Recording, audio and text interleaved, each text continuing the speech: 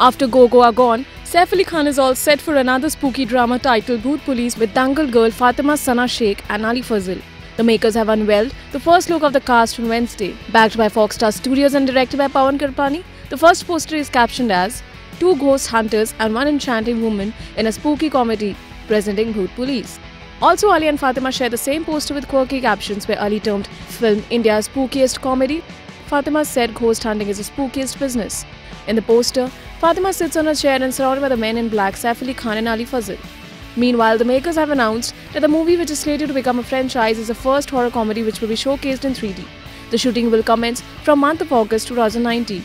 IANS report. Subscribe to our channel. Just click on the bell icon for all the latest updates.